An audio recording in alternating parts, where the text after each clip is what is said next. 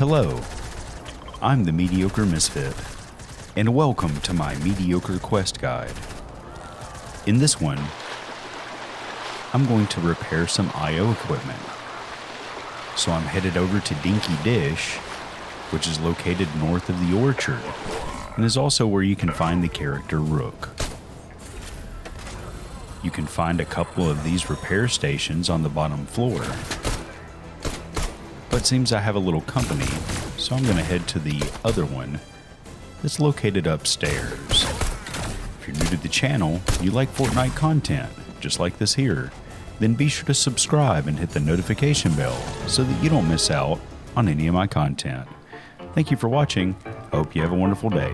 And until next time, I'm the Mediocre Misfit, and I'm out.